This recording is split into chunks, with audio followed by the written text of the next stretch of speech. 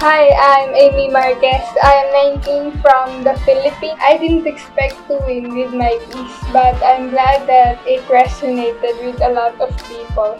My postcard artwork guardian is a watercolor painting of my mom guiding my niece as they were both being guarded over by Arnold. And I'm glad I mustered up the courage to join the Shinhan Postcard Art Contest because it helped me boost my confidence in my art.